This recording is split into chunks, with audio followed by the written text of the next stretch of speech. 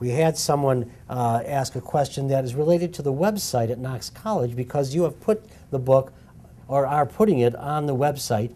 And I hope it's not like Wikipedia where anyone can go in No, and no, no, change no, no. Lincoln's birth. No. But uh, anyway, here they're asking, tell us why you put more footnotes on the Knox College Lincoln Center website than perhaps in the book. Uh, the, this book is 2,000 pages, um, and my publisher said, look, you footnoted virtually every sentence in your manuscript, and that, that's my style, that's what I like to do. Because, like many historians, I'm from Missouri, not literally, but, but uh, figuratively speaking, because I'm always thinking, show me. Whenever I read a history book and somebody makes an assertion, I say, show me, what's your evidence? How do you know this? And I, I assume my readers want to know too. And so I, I document my books very thoroughly. Um, but my publisher said, look, this book is pretty big to begin with, so you have to do a streamlined version of the notes. Um, and so you can only use the footnotes to identify directly quoted material, the source for directly quoted material. You can't talk about secondary sources and you can't talk about the reliability of the people you cite and the sort of thing that I usually do. Um, so I said to my publisher, uh, would it be all right if I posted a fuller version of the book online with all the scholarly apparatus with footnotes that, that do discuss the reliability of the witnesses cited and the, the, the where this fits into the secondary literature. and my publisher very graciously said yes. Um, don't expect us to pay for it, but, but if you can get somebody else to do it. So Knox College Lincoln Study Center very generously agreed to do that. Um, and so uh, I, I, uh, I'm in the midst of preparing that for the online version. Um, and uh, I've, I've already submitted the first third of the book uh, for posting at the Knox College website. And one of the nice things about this version that's going to be online is that I can correct mistakes as they're found, as they're bound to be in a book of this length. And I can also add new information as it comes to light. Now, many authors wouldn't want to do that because you finish a book on one subject and then you move on to another subject. But I have a, I have a series of Lincoln editorial projects and Lincoln related books that I want to write and edit. So my hand will be in the Lincoln field for a long time to come and therefore I, it will be a, no, no, great problem for me then to, to add new information or to correct mistakes as they're discovered. Well, that, that brings me to one of the questions that came in by email to me. Uh, if you could give one morsel of advice to others who wish to write about Lincoln, what would it be and why? Because, of course, I thought your work had everything and there's nothing more to say on Lincoln. well, but you're saying perhaps there's more. Well, there, there, um, there's a project underway now at Springfield, uh, a new edition of the Papers of Abraham Lincoln. Mm. And unlike the edition that was published back in the 1950s and then supplemented uh, with a couple of volumes in the 70s and 90s, um, this, this new edition of the Papers of Abraham Lincoln will be based, uh, will contain not only the letters that Lincoln wrote, but everything that was written to him. And an awful, an awful lot of the letters that are written to Lincoln show up in the Lincoln Papers at the Library of Congress. And they're online, they're, they're word searchable, you can see the image as well as the transcription. But an awful lot of mail that came into the White House would be referred to the War Department or the Navy Department or the Interior Department or whatever. Um, and I have not spent a great deal of time in the archives, National Archives. Uh, I've done some work there. But there, there are cubic acres of, of papers in the, in the National Archives. And the folks at Springfield who are doing this new edition of the Papers of Abraham Lincoln are going through the archives. And it's very tedious work. Um, and just endless uh, uh, red tape and, and uh, crumbling documents. But they may find a great deal of new material, particularly about patronage and how jobs were, were distributed and what particular forces were at work to get person X rather than person Y appointed to be a, at the, a, a, an employee at the New York Custom House, for example. So I think we're going to find a lot more information about Lincoln and patronage in, in the work that they've done. Um, and there's a great deal of work that, that I did on, in newspapers, but there's a great deal of work, more work to do. Um, I just ran out of time. I had to get this book out by 2009, and so I, I did a pretty thorough job in, in, newspapers, but not as thorough as I'd hoped to.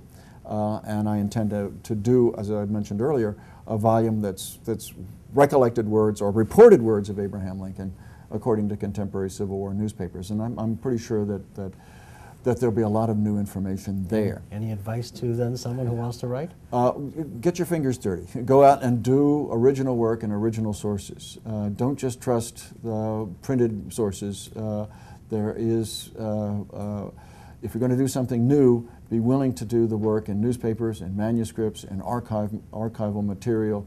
Um, and and what, what the, this book is pretty comprehensive, but there's almost one of the problems when you're writing a biography is, is that you have to keep a narrative moving along. And you can't stop very long to analyze particularly difficult historical problems uh, because you, you'll break the narrative thread. Um, and so, so there's, there's, there's a lot of work to be done, analytical uh, examination. For example, one, one thing that I found particularly troubling and which, which cries out for more analysis than I could give it was Lincoln's uh, policy with regard to cotton trading. Um, that the Lincoln administration did allow cotton from the South to come through Union lines, um, and uh, there were safeguards put in to make sure that the proceeds from that wouldn't help the Confederacy militarily. But in fact, those, those safeguards were not very rigorously enforced, and the cotton trading policy really did help the Confederacy because as the blockade became effective after the second year of the war, you, the Confederacy was having trouble getting cotton to Europe but they, the, then this trade with the North took place. And some people have argued that the war went on longer, a year or more longer than it needed to have, uh, because of the Confederacy's ability to, to profit from the cotton trade with the North. And uh, I, ju I, just couldn't stop to investigate that in, in elaborate detail without, without breaking the narrative thread. But, but there are things like that throughout the Lincoln administration which cry out for further in-depth analysis than I was able to give it in a, in a narrative historical biography. I want to say quickly and, and, and emphatically. The narrative thread is excellent in here. For Thank all the Thank detail that's there, this continues to move. And I, I get into the middle of uh, the second volume somewhere just because I had a question. I wanted to find out what you said about a, particular moment.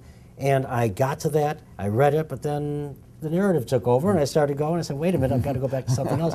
But it just takes over. It's wonderful reading. I I think even if you can't read it all in one gulp, uh, that it's it's still terrific reading. Well, thank you. Uh, interestingly, just a quick footnote of what you just said about the cotton trade. A recent, uh, just oh, a year and a half ago, a little note came up, a letter from an orphanage in uh, Georgia, and a minister there came up to see Lincoln about getting cotton to bring back down there mm -hmm. to sell mm -hmm. for the orphans and mm -hmm. that the proceeds would go there. Interesting thing, he first went to Jeff Davis. Hmm.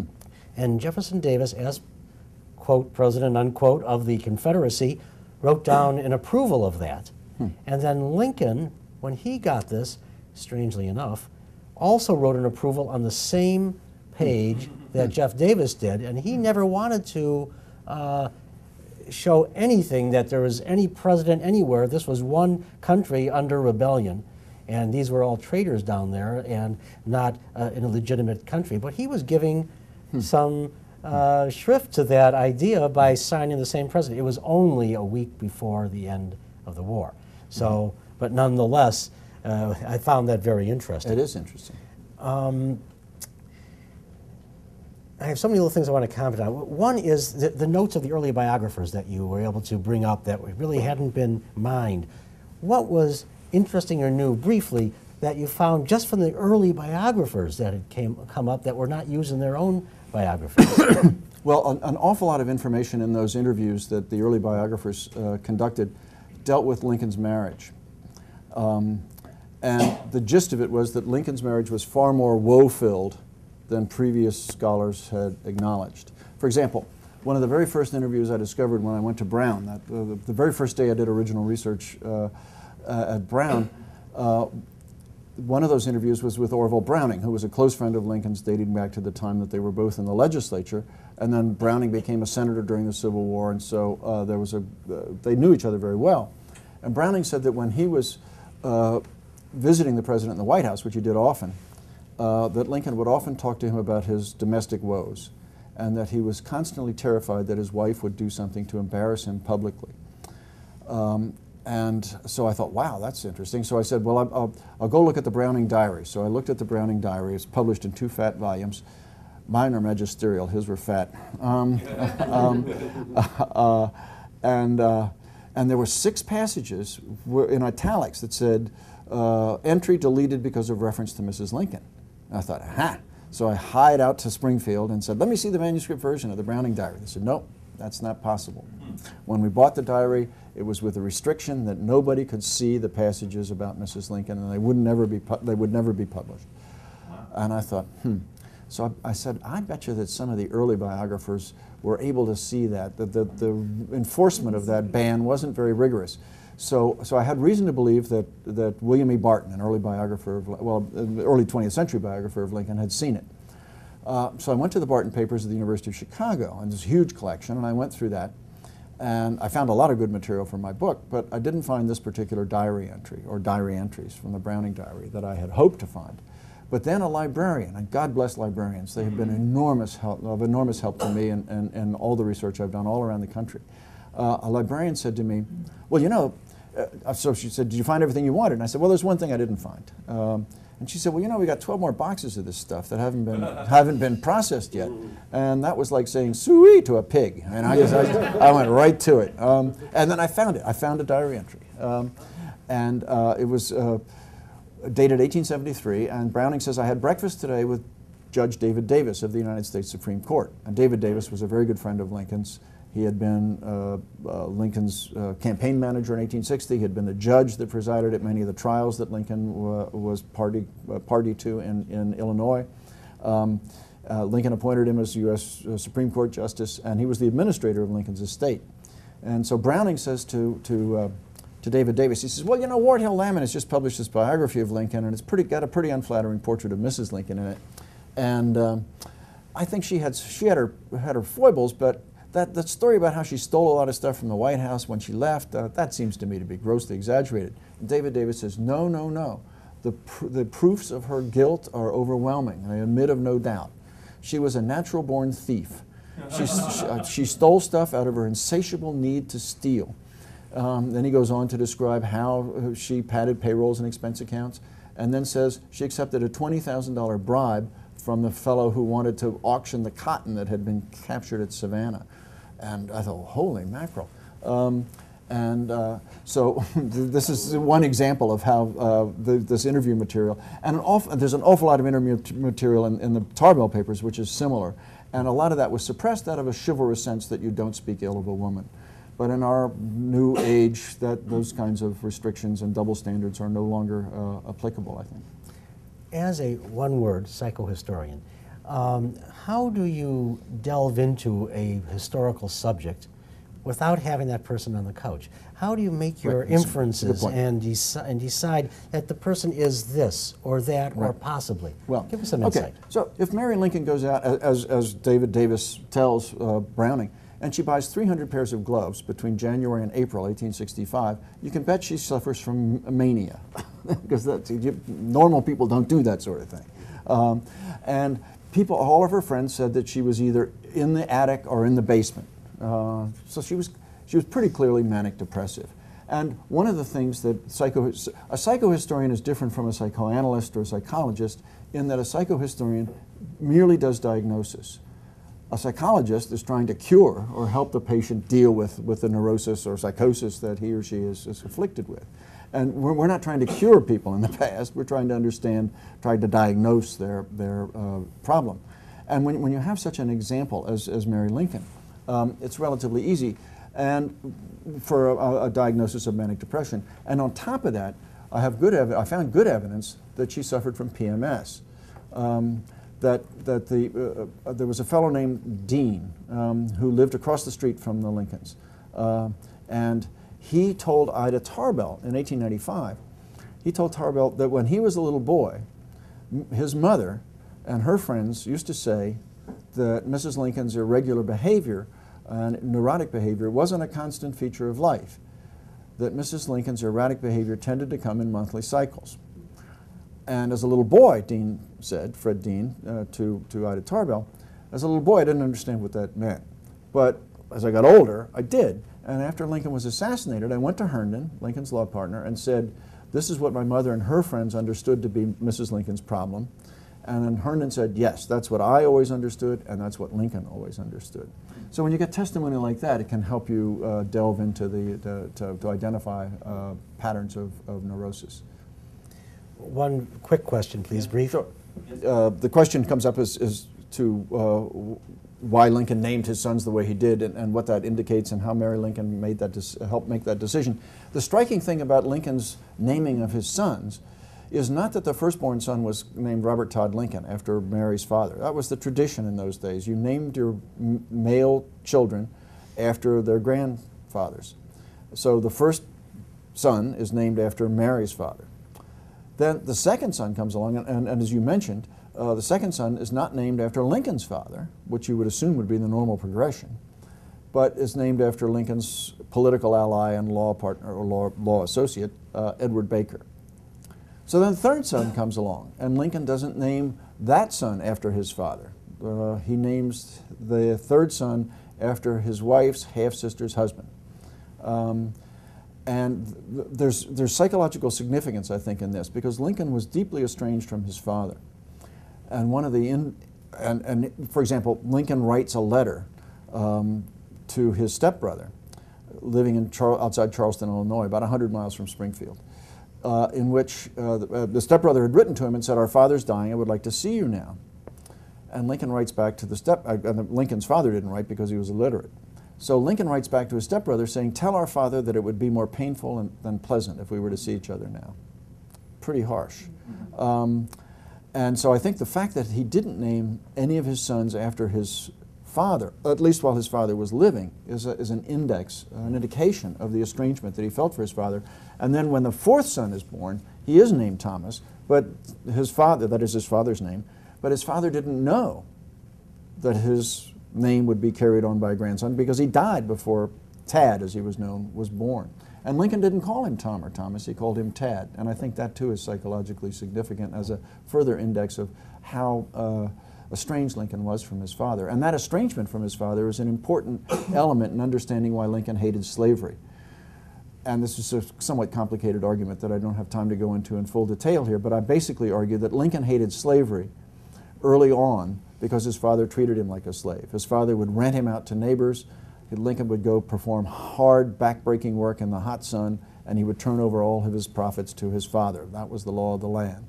And when Lincoln comes to denounce slavery, he, he eschews almost all the standard arguments against slavery except one, namely that it's an outrage that somebody goes out in the hot sun all day and does backbreaking work and somebody else derives all the profits. It's interesting that recently I had a portion, a small scrap from Lincoln's copybook, not the sum book, but the copybook, mm-hmm. the second one that he mm-hmm. had, that is really basically unknown. And on this, he's doing his, his penmanship, and he uses Thomas Lincoln over and oh, over and really? over and hmm. over in this particular scrap. He's using his father's name, even though he's famously at odds with him. That's Uh, interesting. so That's a new piece of information. I'd love for you to write on that at some Yeah, I point. will. I'm going to just quickly close with one question again, very briefly, Sure. uh, since it's on names. Uh, you speak about how Lincoln got his sobriquet, Old Abe. What does that tell you about how he, what, what Lincoln's image was among his friends? Well, one of the striking uh, features of, of Lincoln's life is that people began to refer to him as old when he was in his 30s. And he didn't look old, that is to say, he didn't have gray hair, he wasn't prematurely bald, and the like. But Lincoln radiated a quality of being old. And his, even his playmates said about that. He seemed to be a, man when others were boys. Um, and I argue in, in my first book, and, and to a lesser extent in, in the new book, that this was a, an example of, of an archetype that the great uh, Swiss psychologist Carl Jung used, argued that, that we're all dominated in part, at least, by, by an archetype that, that has nothing to do with the way we were raised or what our parents were like. Um, and it's a complicated argument I can't go into here, but, but Lincoln seems to have been dominated by the old man archetype and, and in its positive phase. That is, he radiated a quality of being old in the positive sense of being old, like, like you and me. Um, uh, uh, that is to say, wise, nurturant, uh, generous, supportive, uh, and uh, and people people responded to that, uh, and and they sensed that in Lincoln, even though his physical appearance didn't suggest oldness, um, and I think that helps. And that's one of the reasons that why he was such a successful president. That, that when, when people saying we are coming Father Abraham, 300,000 more, that father image of a wise, benevolent, uh, nurturant, supportive, a wise father was something that was part of Lincoln's whole personality. It wasn't something that just came from his writings or, or his speeches. It was, it was his personality and his whole quality of, of being. And that inspired trust. And without that trust, uh, no president can really be successful. And Lincoln was remarkably successful in part because of his ability to inspire that trust. Michael, thank you so much for being Dan, here well, with us. thank you so much. And uh, appreciate John Hopkins Press from for getting you here, and uh, look for your next uh, book, and you'll come back hopefully as well. We have many more books for you to sign. Behind me here are just some of them. The Berlin Wall. Berlin Wall. And so we'll keep it going. We'll get all of your books signed. And we thank all of you for coming out and being with us this evening as well. And of course, for all of you for being uh, at virtual book signing uh, once again. We'll be here again. Please come back. Thank you to the staff of the Abraham Lincoln Bookshop for all their help in this. Do come back. Thank you. Thank you.